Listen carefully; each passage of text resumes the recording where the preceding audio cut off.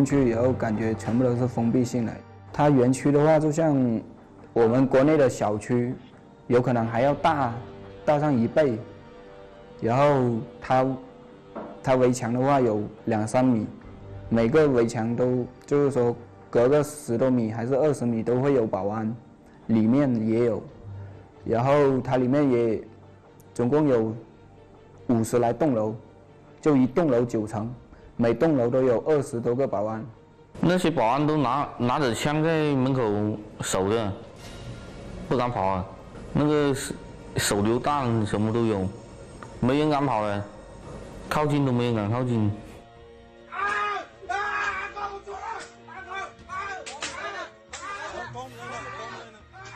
老板说你骂你了，你不听，人家老板就直接把你拿去活埋或者卖器官。因为卖我的那个人呢，他是组长，他想办法吃掉了一些公司里面的钱，后面被发现了，被打死，然后吊在吊在那个楼楼层外面。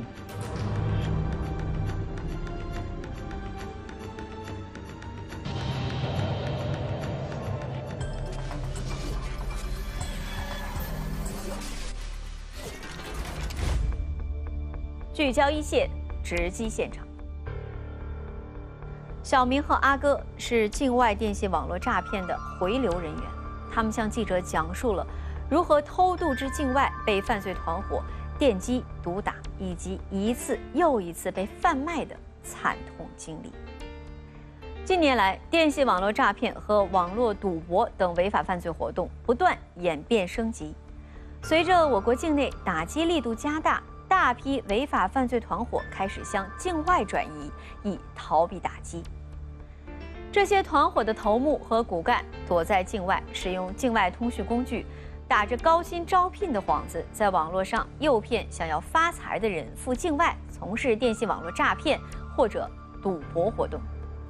正是在这样的背景下，以偷渡方式向境外电诈园区输送人力的非法产业链逐渐形成。一起进入我们今天关注的事件，了解它的来龙去脉。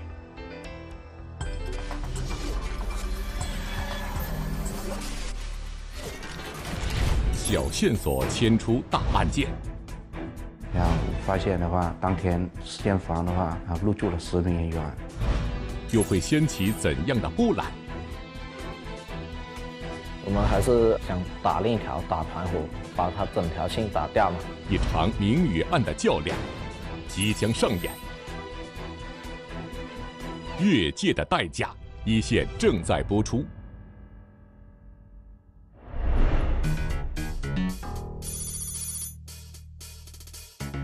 这里紧邻中越边境，已是深夜，几个人影在草丛间穿行，不时发出细微的声响。尽管这几个人的行踪诡秘，但他们不会想到自己的一举一动早已暴露在警方的严密监控之下。他到距离边境还有两公里左右的一个山上停留了，他并没有直接过境。那我们判断的话，那他是从这里开始步行前往边境，不是直接车道，还是怎么样？我们都决定就继续蹲守跟控。这几个人之所以引起警方的注意，是因为一个姓陈的男人。我们八月份的时候查获一批偷渡人员，啊，通过倒查他在我们东兴住宿的一个轨迹，发现的话，呃，他登记入住的话，并非偷渡人员本人，而是我们啊广西这边一个叫陈某的一个人。但由于当时证据方面无法确凿的把陈某作为收网。目标，然后我们把这个陈某，呃，纳入我们的一个监控视线范围内。几天之后，陈某就故技重施，在一家酒店同时开了四间房，随后陆续有人分批入住。所以说，酒店当时的话，他是说他登记了，他就是我，你我有亲戚朋友来，我先开了房，然后我拿了房卡，到时候来的话，你家正常登记入住啊，我先拿房卡回去吧。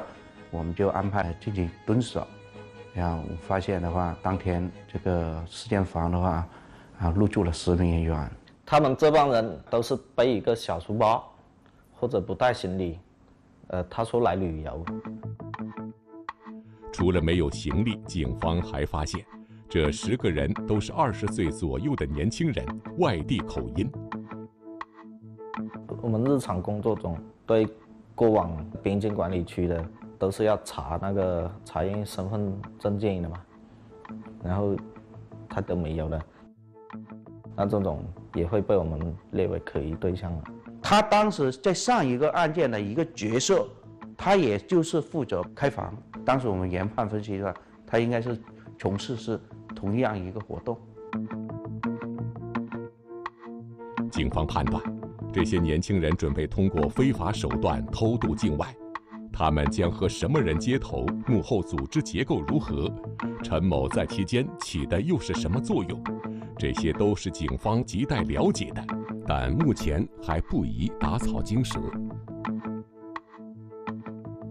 因为一帮人一起偷渡，那肯定是有一个负责对接，跟蛇头对接的，然后其他人你就随行就得了。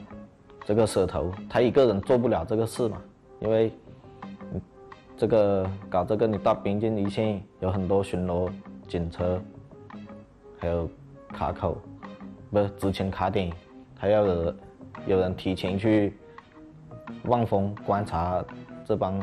执勤民警的一举一动，所以一个人做不了的，他会有，呃，一个团伙的。他十个人，他是同一批出去呢，还是说他是要自己行往边境一线呢？还是说边境这边还有组织运送者？但是我们说这一情况我们还不掌握，所以我们必须选选择蹲守。当天傍晚。一辆黑色轿车来到这家酒店门前，六个年轻人走出酒店，随车离开。警方当即兵分两路，一路跟踪黑色轿车，另一路则留在酒店继续蹲守。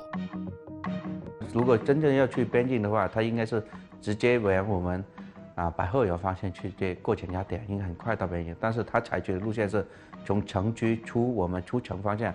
跟罗浮转盘转进马路方向出去，通过他这个绕关闭卡，我们基本上要坐实这帮人其实是就是偷渡人员。在继续跟踪嫌疑车辆的同时，警方在边境线一带秘密布控，以待时机成熟后对嫌疑人实施抓捕。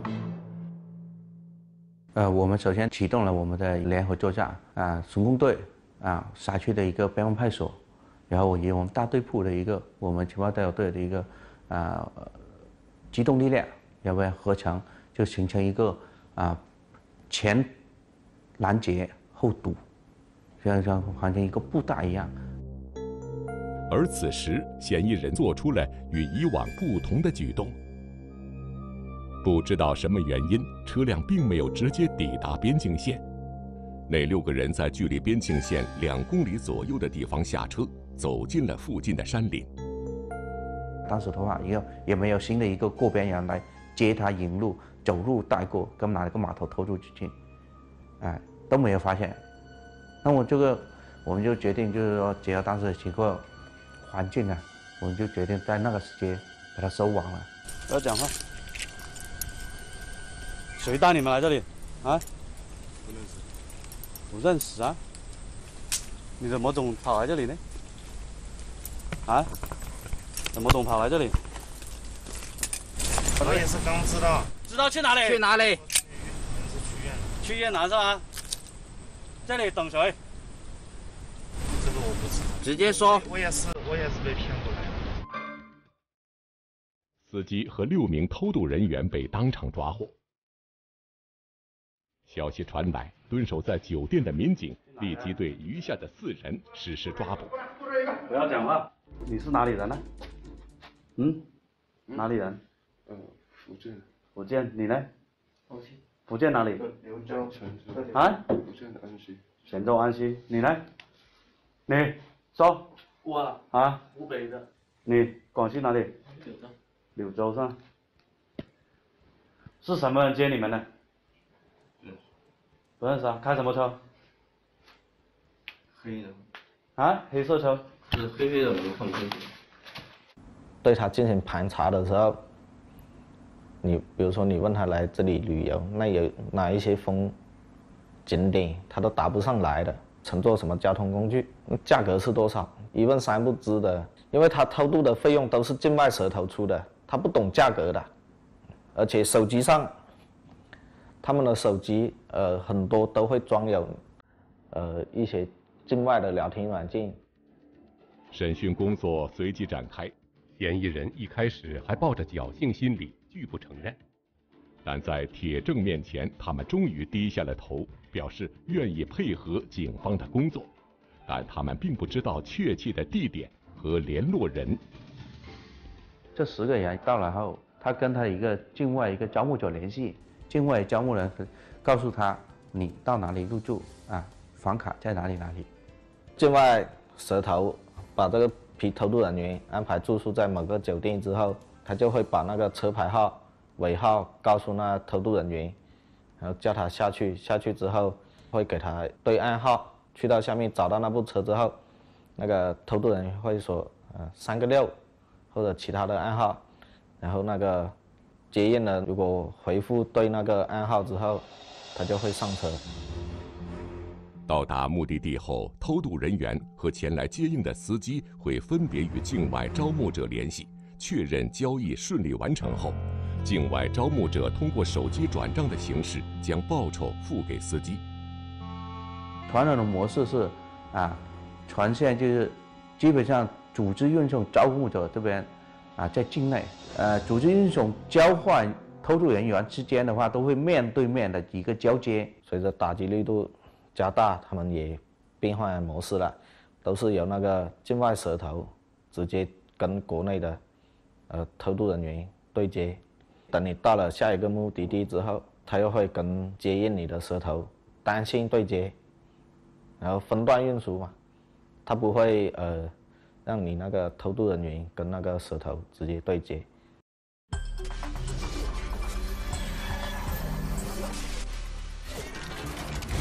为了逃避打击，犯罪团伙往往将整个偷渡链条分成数个节点，采取分段、分批、绕关闭卡等方式运送偷渡人员。每个偷渡人员都有单独的暗号，负责接应他们的人只有在核实暗号无误后才会接人。每个环节的接应人互相并不见面，负责接应的人通常都是司机或者是无业人员。他们在境外犯罪团伙的遥控指挥下完成任务，从中谋取非法利益。而一旦事发，最先受到打击的就是他们。正如本案中的网约车司机以及在酒店订房的陈某。我们来听听本案涉及的相关各方声音，解开疑问，还原真相。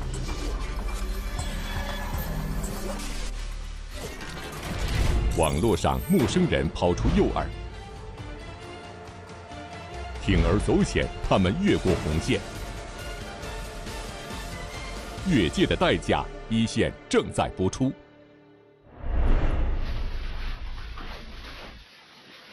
给他看住，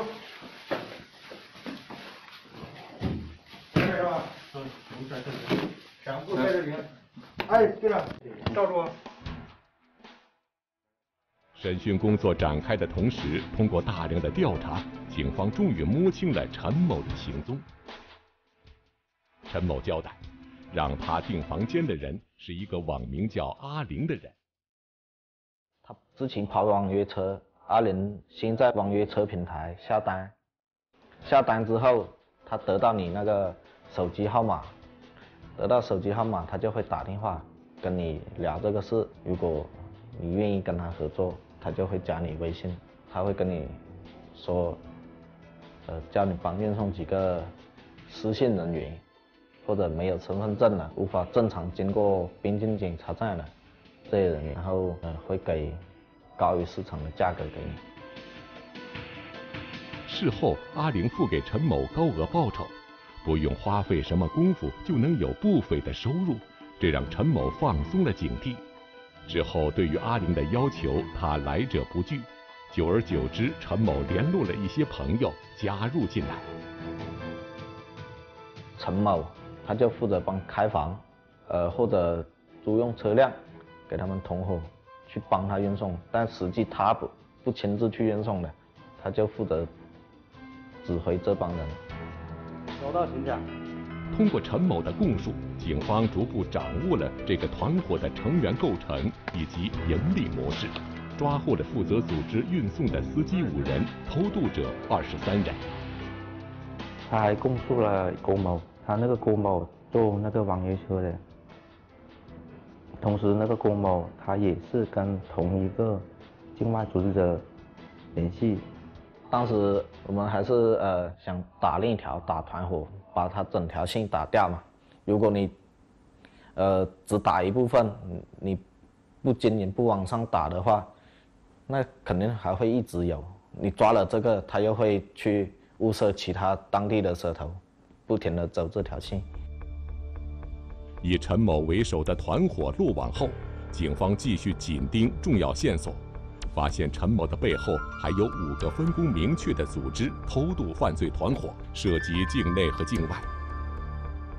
一般都是境外蛇头，他先招募嘛，在网上发布这些高薪招聘之类的那个信息，然后有人呃想出去的时候，他就会跟他们先对接，呃叫你买火车票或者飞机票。到广西南宁或者钦州这些地方集中。那你们为什么上了这台车？出去挣钱啊。啊，就说有人安排这台车去接你们是吧？对。然后接你们到哪里，懂吗？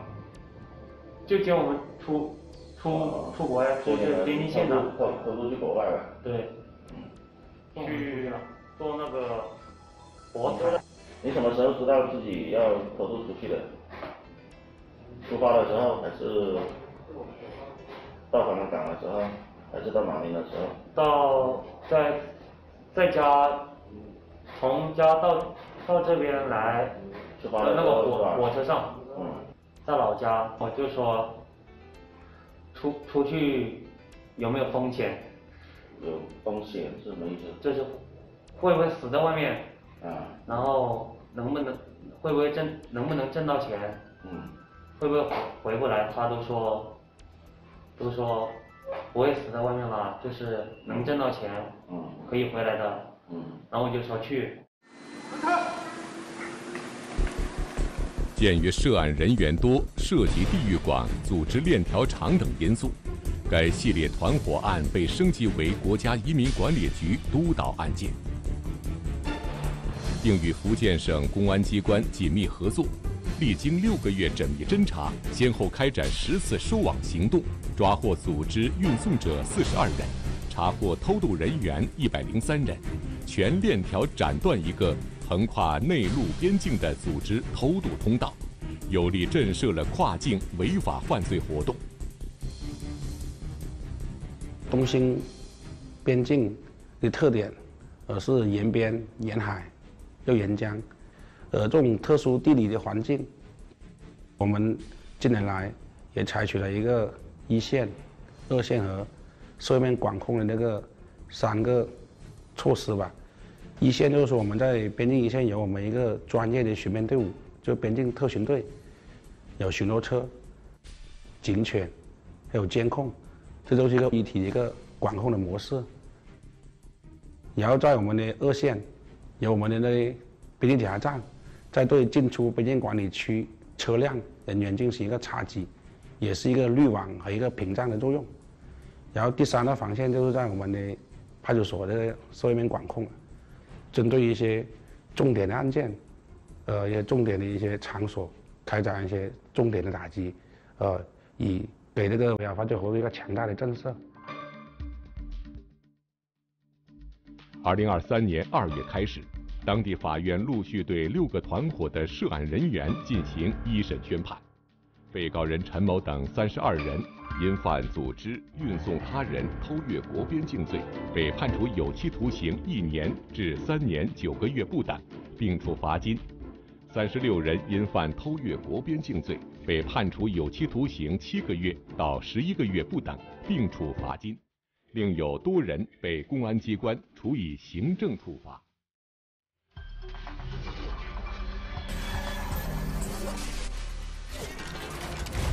去境外打工，专人接送，车费食宿全部免费，轻轻松松月收入过万，这样的工作是不是很诱人？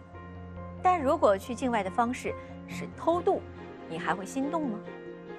近年来，不法人员大肆宣传，谎称境外处处是商机，待遇优渥，是打工人的天堂，以此诱骗我国公民偷渡出境，强迫他们从事诈骗等不法行为。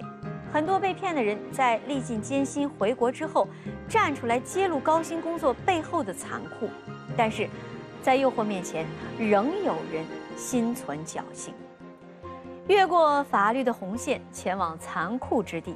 最终滑入深渊。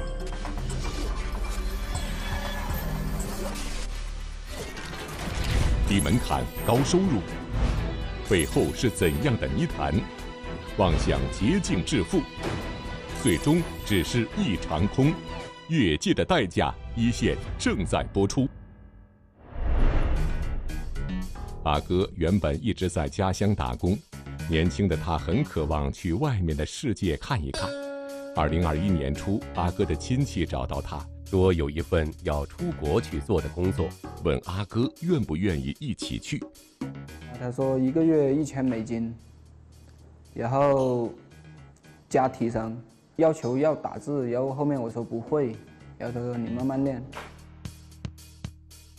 出于对亲戚的信任，阿哥和他一起出发了。路上又有几个人加入了他们。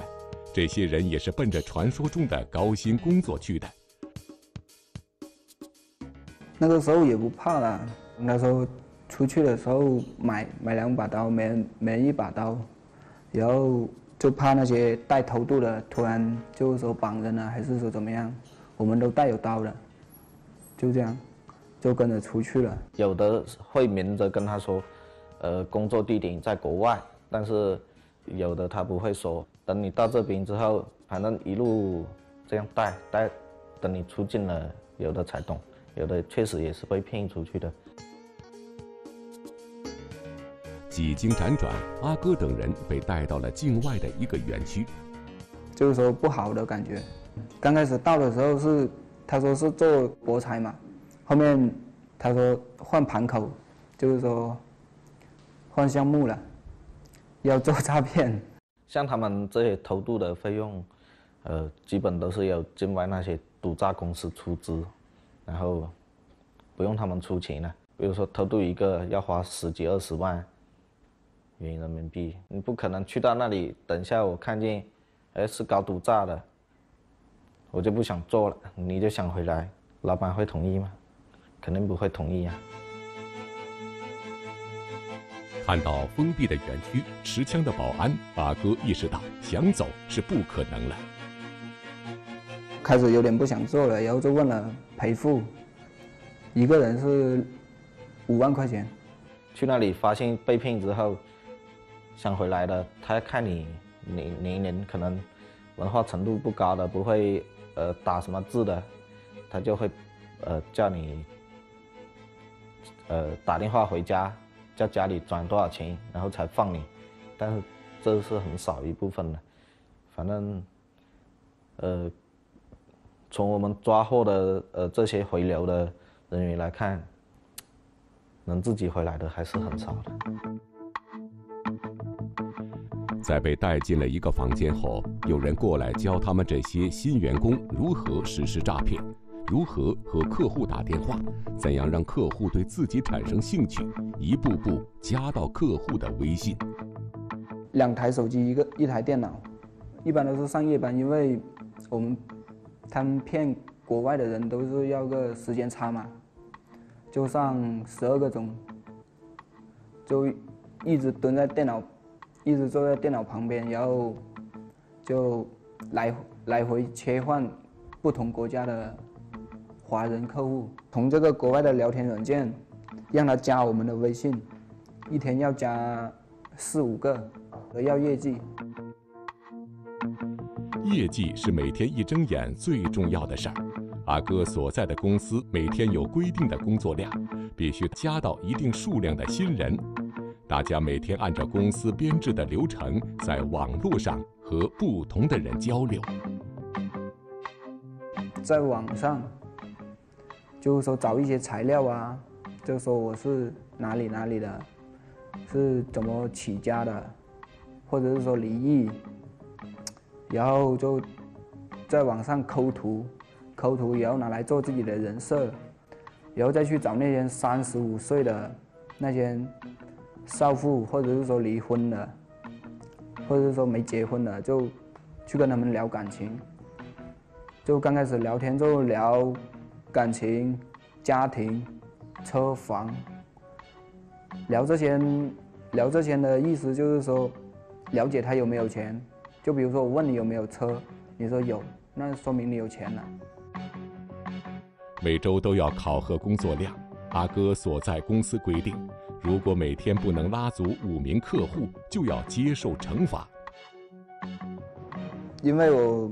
引流不到，他规定是一天引流五个，然后我就弄虚作假嘛，然后被他发现了，当时被电了，被电了一次，然后第二次被电了两次，然后第三次他就上手来打我。如果连续一段时间不能完成工作量，面临的惩罚更为严重。比如说你到到这个公司之后，我不想用你了，我又会。把你呃以一万美金，甚至更高的价格卖到呃也是搞毒渣这种园区去。你做不出业绩，从第一家公司卖到第二个第二家公司，第三第三家公司再卖卖到第四家公司，这样你的卖的钱会越来越多吗？因为连续几个月业绩不达标，阿哥被以一万美金转卖给了园区内的一家餐饮店。那个老板说：“你要帮我干两年，就是说帮我卖两年螺蛳粉。第一年没有工资，第一年算是还他的一万美金。第二年的话就是有工资。”与阿哥不同，小明是在知道去做电信诈骗的情况下偷渡出境的。一个同学告诉他，自己在国外做代理，收入不错。明说。也算是诈骗的吧，但是说的跟诈骗又不一样。说那边怎么挣怎么容易啊？那边又好玩啥的，保底工资是一万二、一万三，骗的金额越多，那个提成越高。比如你如果骗得一两百万那些的话，就是。你提成就二十或者二十五这样。虽然没有完全明白同学所说的代理是什么意思，但要挣大钱的想法占了上风。于是小明瞒着家人，按照同学的指引出发了。此时他还不知道，同学对他的邀约并不那么简单。在被带到境外某园区看到荷枪实弹的保安后，小明后悔了。因为我待的那个园区，它是没有那个围墙的，就一整栋大楼，一整栋大楼那个保安在那里守着。他去到那边，他没跟我们家里面人说过。我们问他你到底是在哪里，他还说在北海。简单的培训后，小明大致明白了具体的工作内容与方式。这时他发觉，同学先前许诺的高薪，并不是那么容易到手的。事情哪里，我试过了，然后我直接我跟老板说，这个我干不了。于是老板安排小明做代理，代理负负责带那些人，然后从国内喊人过去，比如你这个月你带有五个员工，五个员工里面你说两百万的话，抽抽个五个点。或者十个点出来分给你的。然而调整岗位后，小明的工作也开展得非常不顺利。想着老板说为自己出境垫付了高额费用，小明忧心忡忡。上班的时候，在隔壁公司，偶尔又听到那些电棍、电棍声，还有打人的声、打人声音。电棍那些都是在公司里面都是常用的，电棍还有那个手铐，把你铐起来了，人家才电你。我问他在哪里，他不说，他他也不回信息。我们打电话给他，又打不通，挺挺怕的哦。家里面就一个弟弟，万一说回不来，怎么办？在园区的一个多月时间里，小明每天都在想着逃跑。他偷偷在网络上寻找出路，由此结识了有相同境遇的阿哥。此时，也在琢磨逃跑办法的阿哥发现，园区里的保安少了许多。搞过一次清查吗？然后那边全部开放了，就是说，园就是说小区的那个大门，他不用刷那个门禁卡，随意进出，然后我就出来了。觉得自己安全后，阿哥试着与亲戚和小明联系，然后他说叫我去接他。然后我就去接了，然后当时也不知道是什么情况，也有点害怕。我说，我请个司机在门口外面等你，我坐在车里面等。他原本是被电信诈骗公司控制的嘛。那时候我跟他们说我身上没钱，说我就让他们帮我打个车，我直接出去，然后门口那里也没人守嘛。之后，阿哥三人辗转回到国内，最终为自己的行为付出了代价。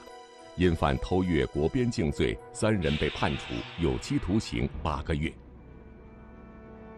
大家不要去相信那些所谓的，就是说高薪啊，还有国外有多好多好，去给别人工作打工，就这些都是骗人的，高薪都是骗人的。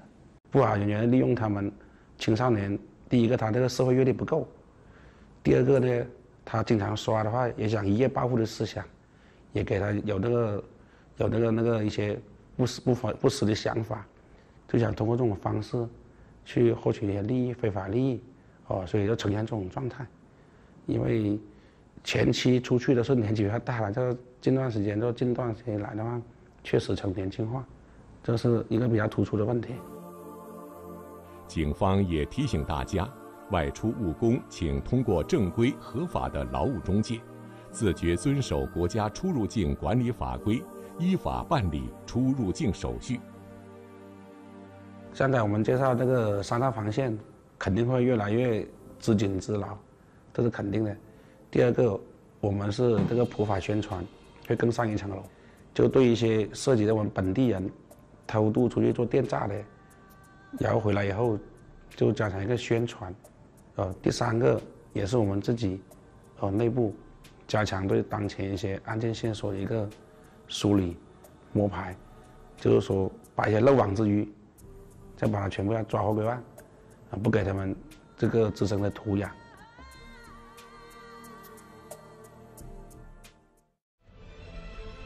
一些被诱骗至境外的人。被迫实施犯罪行为，自身也受到了伤害。本以为等待自己的是一夜暴富，其实却是毒打、监禁、电击，甚至丢了性命。他们中，有的人明知偷渡不可为而为之，有的人明知是去电诈窝点，却置法律和危险于不顾，用富贵险中求来麻痹自己。他们以为自己是猎人，结果却沦为待宰的羔羊。偷渡越境赚大钱都是幻想，做着不切实际的暴富梦，不仅会使自己身陷险境，也会因从事偷渡、电诈等不法活动承担法律责任。